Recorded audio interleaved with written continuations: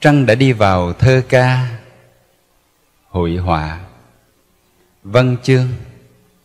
Và tất cả các ngõ ngách, Tất cả các lĩnh vực của cuộc sống. Và ngay cả trong đạo Phật của chúng ta. Vậy cho nên, Ánh trăng chứng kiến tất cả những sướng khổ buồn vui, tất cả những lễ thật ở trên cuộc đời dòng đời vẫn trôi vẫn trôi và trăng vẫn lặng lẽ nhìn đời.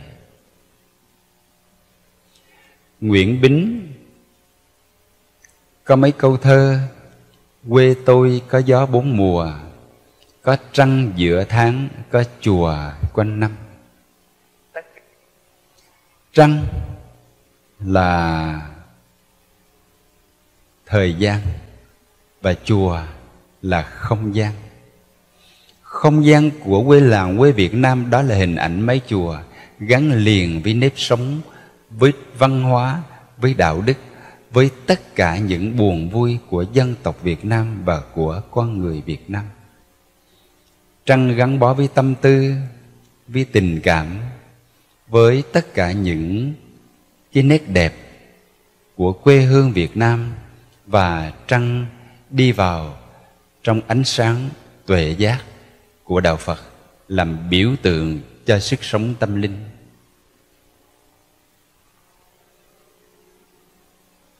Nếu các vị lớn tuổi, mà nhất là ở làng quê, chúng ta mới thấy được ánh trăng nó màu nhiệm, nó thiêng liêng đến cỡ nào tôi vẫn còn nhớ những năm tháng trẻ thơ, được ngồi dưới ánh trăng ở làng quê và sớm làng tối hay bày những mâm cơm. Con cháu được ngồi với cha mẹ, với ông bà, đệ tử được ngồi với thầy bên mâm cơm với gió hắt hiu và ánh trăng vằn vặt. Đó chính là ánh trăng đoàn viên ánh trăng tình người, ánh trăng quê hương gia diết và ai trong chúng ta, dù là thiếu niên, hoa niên, trung niên hay lão niên, thì ít nhất trong đời cũng đã hơn một lần chúng ta có những kỷ niệm đẹp với ánh trăng của làng quê Việt Nam. Mà không phải chỉ làng quê Việt Nam mà dường như trăng ở khắp tất cả mọi nơi, ở khắp tất cả sự sống. Ở đâu có con người, ở đâu có tình cảm, ở đâu có sự gắn bó, ở đó có ánh trăng. Và ông bà ta xem ánh trăng như là một sự linh thiêng như một sự mầu nhiệm và nó chứng kiến cho cái lễ thật của cuộc đời tôi còn nhớ cha mẹ hay chú bác của mình hay ngồi nói chuyện với khách khứa. Đôi khi có những câu chuyện mà khó tin thì người lớn tuổi hay nói là, hôm nay tôi nói câu này có ánh trăng chứng kiến cho tôi. Điều đó có nghĩa là ánh trăng chứng kiến cho lễ thật. Ánh trăng là biểu tượng của sự thật, của công lý, chứng minh cho cái lời nói của mình và khi nhìn lên ánh trăng, đó là một cái ánh sáng của sự thật, của chân lý mà lấy đó để minh chứng cho lời nói, cho hành động, cho sự sống của chúng ta. Trong tất cả các quan hệ ứng xử, nhất là về tình cảm cũng vậy, người xưa thường lấy ánh trăng để làm chứng cho tâm tư, cho tình cảm cho ước hẹn, cho giao thề của mình. Nếu đọc trong truyện kiều, chắc quý vị còn nhớ, quý vị còn nhớ. Trong một lần nọ, khi mà cả gia đình của thúy kiều về quê để cúng dỗ, thì thúy kiều xin ở lại để trong nhà. Và chiều tối đến thì kiều băng băng bước qua nhà của Kim Trọng. Qua để làm một cái cái lễ ước, để một cái cuộc giao thề. Mà cái tình cảm của người xưa, nó thiêng liêng, nó trân quý lắm. Lúc bây giờ, kim trọng đón thúy kiều bằng cái gì? Bằng nến bằng hương hương trầm. Bằng gì nữa? Bằng một cái tờ giấy trắng để viết những lời ước nguyện. Bằng cái gì nữa? Bằng một cái dao vàng để cắt tóc ăn thề với nhau. Khi mà thúy kiều vừa bước chân đến thì kim trọng sao? Vội mừng làm lễ rước vào. Đài sen nối sát sông đào thêm hương. Tiên thề cùng thảo một chương. Tóc mây một món. Dao vàng à, chia đôi. Có nghĩa là trên một cái bàn được chạm trổ bằng sen. Kim trọng thắp ngọn nến lên để tiếp đón. Rồi trong thơ có chỗ ghi là sông đào, tức là cái cửa mà hoa đào ở phía trước. Có ghi chỗ ghi là lò đào thêm hương, tức là cái lò để đốt trầm rồi gì nữa? Tiên thề. Tiên thề ở đây tức là một tờ giấy trắng để mà viết lên những câu hẹn ước. Và có một cái dao vàng để cắt tóc để ăn thề. Tất cả các nghi thức đó được thực hiện, nhưng mà cái gì để chứng minh đây? Ánh trăng vàng vằn vặt sáng ngời. Đinh ninh hai miệng, một lời song song. Tóc tơ dò dặn tấm lòng. Trăm năm khắc một chữ đồng vào xương. Dưới ánh trăng vằn vặt, hai người đã nói câu thề ước với nhau. Và làm gì nữa? Cắt tóc để hẹn thề. Chúng ta thường gọi là tạc dạ ghi lòng, nhưng ở đây đó là tóc tơ dò dặn tấm lòng.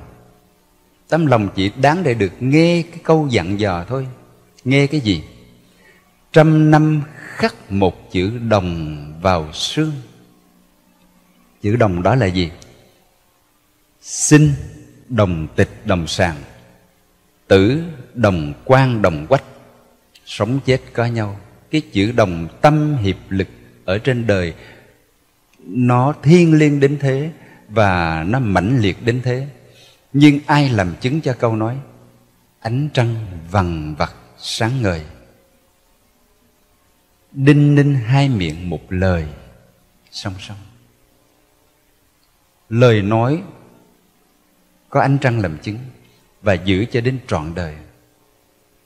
Nếu mà tuổi trẻ ngày hôm nay gợi lại được hình ảnh đó, nghe được những cái câu thiên liêng đó, chắc là sẽ xây dựng những cái lời hẹn ước và nuôi dưỡng được cái hạnh phúc, cũng như xây dựng hạnh phúc gia đình đẹp lắm tiếc là những gia bảo của ngày xưa dường như không còn cho ngày hôm nay nữa.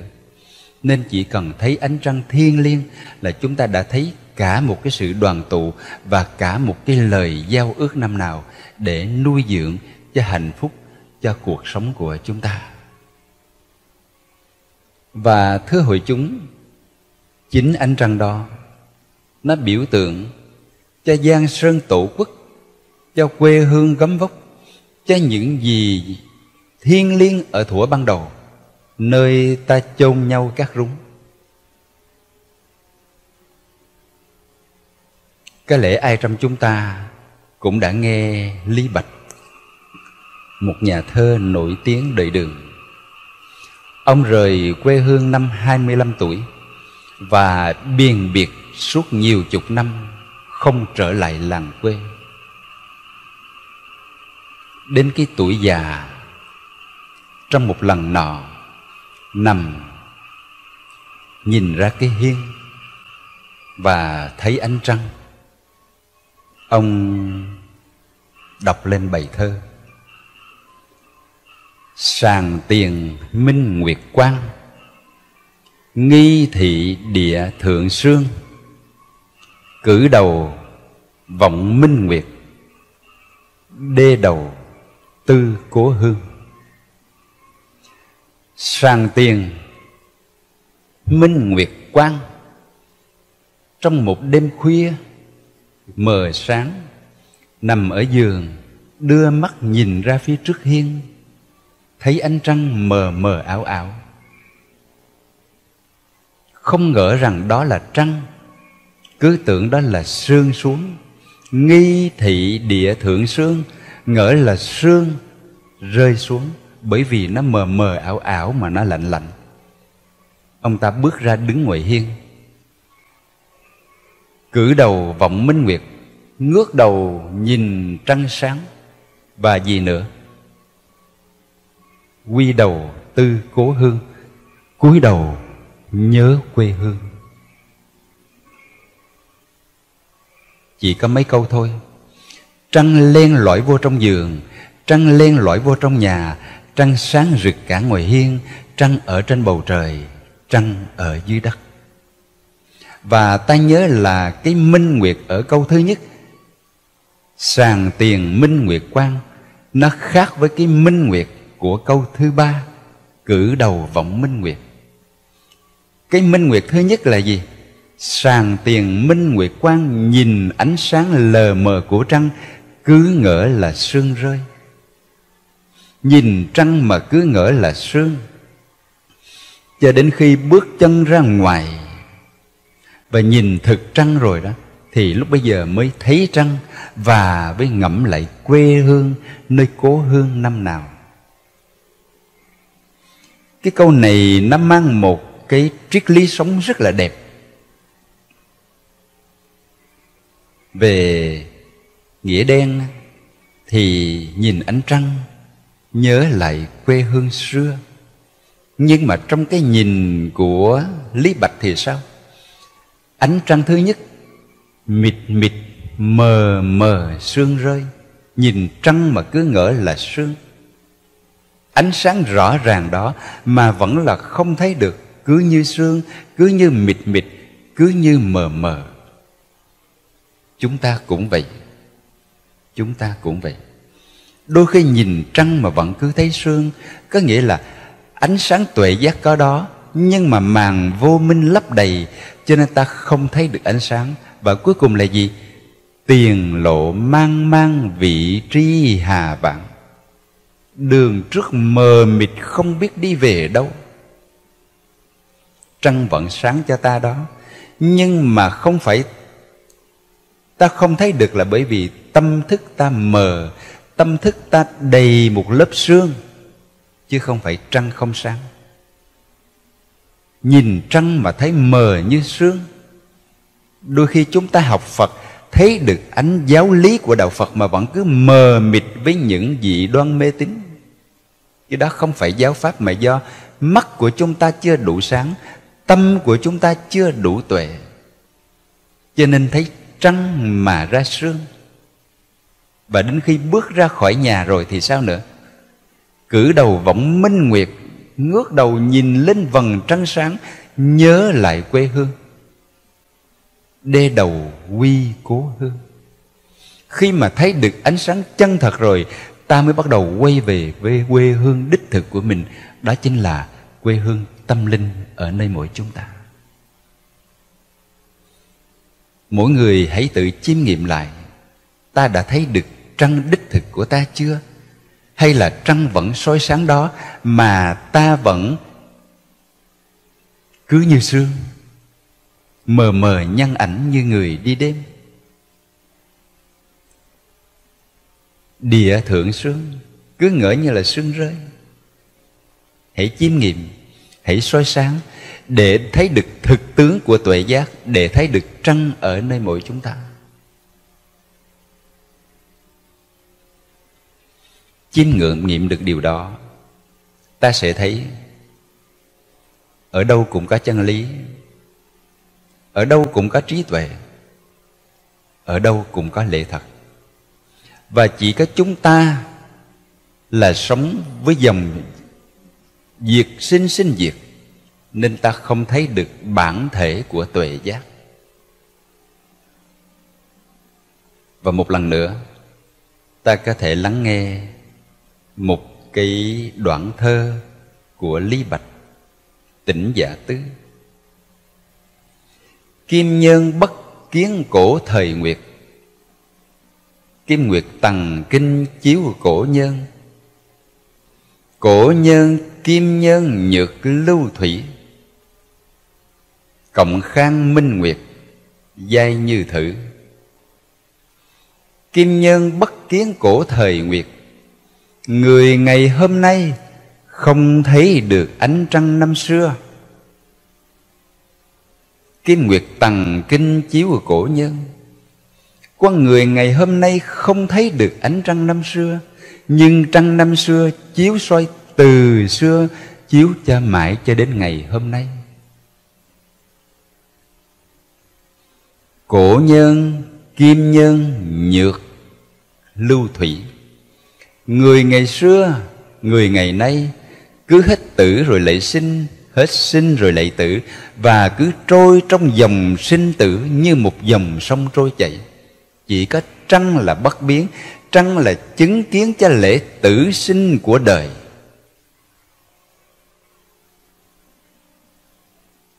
Kim nhân cổ nhân nhược lưu thủy, cộng khang minh nguyệt, giai như thử.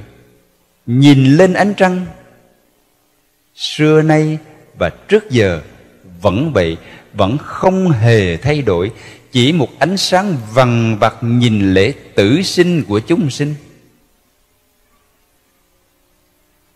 Và cũng với ý tưởng đó,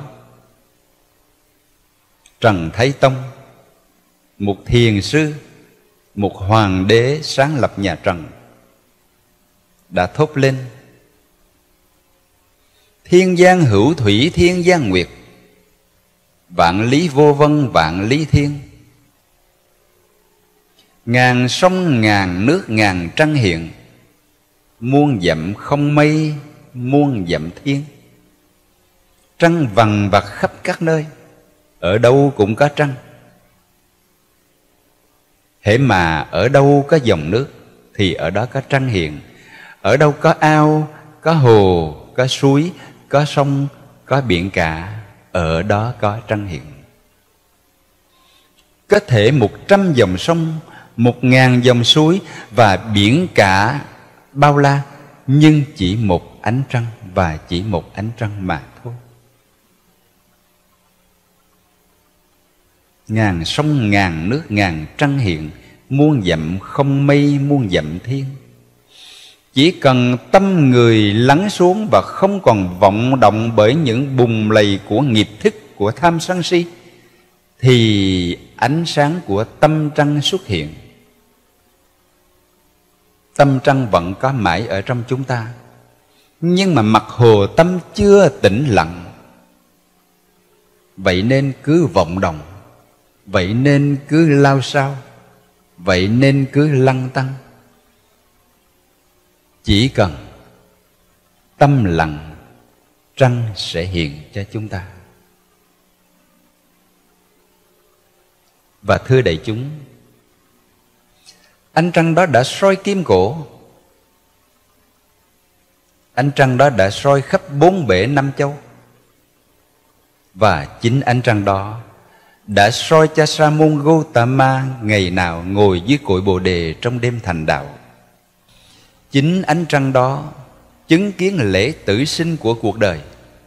Và cũng chính ánh trăng đó đã chứng kiến sự thành đạo tuyệt vời nhiệm màu thiên liêng cao cả nhất của sa môn Gautama để rồi trong đêm đó ngài trở thành bậc thầy của trời người và đạt được tuệ giác siêu việt chứng được giác ngộ tối hậu. Và cũng chính vì ánh trăng đó chứng kiến đêm thành đạo, để rồi nhân loại có một bậc đạo sư khả kính, để rồi có được một kho tàng giáo pháp vi diệu nhiệm màu. Ánh sáng đó đã rọi xuống đức thế tôn, đã rọi tăng đoàn của đức thế tôn đã rọi suốt chiều dài lịch sử của đạo phật việt nam và trên thế giới. Và cho đến hôm nay, ánh trăng phật đó vẫn tiếp tục chiếu soi trên khắp năm châu. Nhìn trăng, để thấy quê hương quê hương huyết thống, đó là nơi chôn nhau các rúng, nơi sinh ra ta, nơi ca mặt của ta nhưng cũng nhìn ánh trăng đó để thấy được quê hương tâm linh, để thấy được nơi xuất phát ra đạo phật và thấy được từ đó ta có được con đường để đi. Dù cuộc đời vô thường, dù sinh già bệnh chết, đã có đường đi rồi, con không còn sợ nữa. Con đường đó đã có ánh trăng vằn vặt soi chiếu cho chúng ta, soi chiếu trên từng bước chân, trên từng ánh mắt và trên từng việc làm của chúng ta. Thiên liêng quá, màu nhiệm quá, trăng vẫn chiếu soi vạn loài chỉ có chúng ta thấy trăng hay không thôi. Chúng ta có nương vào trăng, chúng ta có nhờ vào trăng để thắp sáng cái tâm trăng của mình hay không? Đêm trung thu này là một trung thu vằn vặt trăng để cho chúng ta thấy trăng để cho chúng ta thấy được chân lý soi kim cổ. Con đường mà bao thế hệ tiên tổ ông bà đã đi qua, rồi chúng ta tiếp tục đi, rồi đến con cháu, nhưng trăng vẫn chứng kiến mãi. Ánh trăng bất biến đó có mặt ở nơi mỗi chúng ta, ở trong tâm ra, trong trí ta, trong tuệ ta. Nếu không thấy trăng không phải là trăng không có mà chỉ vì những áng mây mờ mờ ảo ảo che khuất.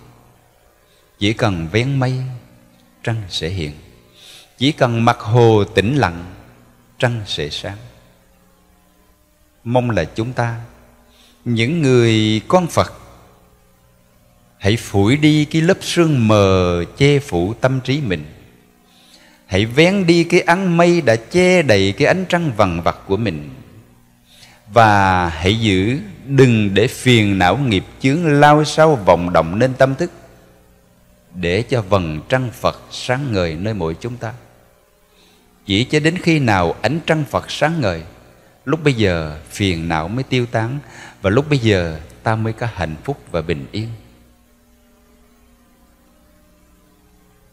Mong là mỗi chúng ta trong khoảnh khắc này nhìn lại với chính mình còn mây không? Còn mờ không? Còn sương không? Còn vẫn đục không?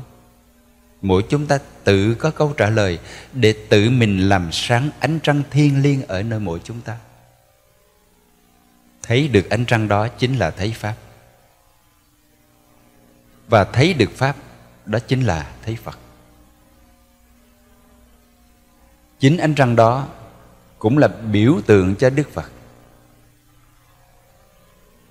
Có lẽ mỗi ngày tụng kinh, chúng ta đều đọc một bài kệ. Phật diện du như tịnh mãn nguyệt, diệt như thiên nhật phóng quang minh. Viên quan phổ chiếu ư thập phương, hỷ xã từ bi giai cụ túc. Là gì? Mặt của phật. Đẹp tròn như ánh trăng. Phật diện du như tịnh mãn nguyệt, tròn đẹp sáng ngời như trăng. Diệt như thiên nhật phóng quang minh, chẳng những như trăng mà còn sáng chói như mặt trời giữa bầu trời bao la. Viên quang phổ chiếu ư thập phương, sáng một cách tròn đầy, sáng khắp cả mười phương thấm nhuần với bốn chất liệu, từ, bi, hỷ và xả ánh sáng đó là ánh sáng của từ, bi, hỷ xả ánh sáng của tuệ giác đức thế tôn. Chỉ cần chiêm nghiệm hình ảnh tôn dung đức thế tôn, ta có thể thấy được chất liệu của từ, của bi, của hỷ và của xả ta tu tập cho đến khi nào? Từ phát khởi nơi tâm bi phát khởi nơi tâm, hỷ phát khởi nơi tâm và xả phát khởi nơi tâm. Ngay nơi đó đức phật cho có cho chúng ta. Ngay nơi đó vầng trăng phật có mặt cho chúng ta. Mong rằng đại chúng hãy tiến tu. Để rồi làm sao mỗi ngày sáng ngời cái vầng trăng tâm thức ở nơi mỗi chúng ta. Làm sao mỗi ngày gần phật hơn? Mỗi ngày gần tổ hơn, mỗi ngày gần với các bậc thánh thiện hơn. Để ta trở nên thánh thiện, để ta trở nên thành phật thành tổ. Như vậy ta mới đền đáp được ân đức của phật, của pháp, của tăng, của tổ thầy. Con đường này, lý tưởng này, người xuất gia thực tập được, người phật tử tại gia thực tập cũng được ai trong chúng ta cũng thực tập được. Ai trong chúng ta cũng có vầng trăng sáng ngời ở trong tâm thức. Thiên giang hữu thủy thiên giang nguyệt mà. Vạn lý vô văn, vạn lý thiên mà. Chiêm nghiệm rồi sẽ có. Thực tập rồi sẽ chứng. Chúc nguyện quý tôn đức tăng ni quý đạo hữu phật tử hoặc đang trực tiếp hoặc đang gián tiếp hoặc lắng nghe cái thời trung thu ánh trăng thiên liêng này mỗi người chiêm nghiệm để quay về với chính mình để thực tập cho có kết quả trên con đường giải thoát của Đức Phật. Dòng sinh tử luôn luôn có ánh trăng. Ta chỉ cần nhận diện, ta sẽ thấy đường đi. Xin chúc lành đại chúng.